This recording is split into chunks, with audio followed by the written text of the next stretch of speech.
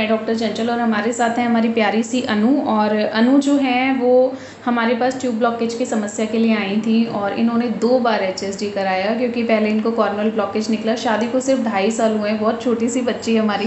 पर tubal blockage जैसी समस्या जो आज के समय में बहुत कॉमन है, वो इनको हो गई और कोई प्रीवियस ऐसी हिस्ट्री नहीं है टिपिकल जिसकी वजह से इतनी खराब ट्यूब्स होती। इसीलिए उन्हें ऐसा लगा कि शायद इन्फेक्शन से ट्यूब ब्लॉकेज है। और दस इंजेक्शन इनको एलोपैथिक डॉक्टर ने प्लासेंट्रेक्स के लिए लगाए थे। ये सोचकर कि शायद किसी इन्फेक्शन की वजह से ऐसी ट्यूब्स जो हैं, वो ख़राब हो गई होंगी। बट एक एबॉर्शन जो इनको 2023 में हुआ था, उसके बाद ये ट्यूब ब्लॉकेज हो गई और कॉर्नर वापस से जब टेस्ट कराया, तब भी ट्यूब ब्लॉक ही निकली।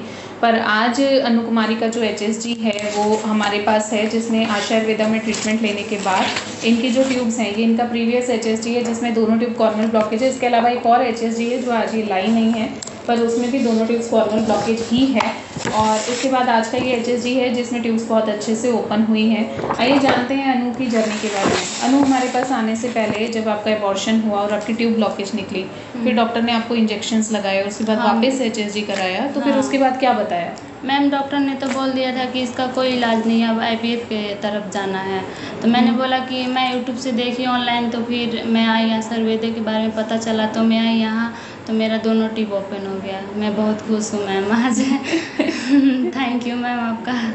वेलकम बहुत कम उम्र में ट्यूब ब्लॉकेज जैसी समस्या कॉमनली मिल जाती है। इतनी कम एज में एक एबॉर्शन होने की वजह से, जो कि शादी के तुरंत बाद इन्हें कंसीव हो गया था, पर उस एबॉर्शन की वजह से ये ट्यूब्स बंद हो गई।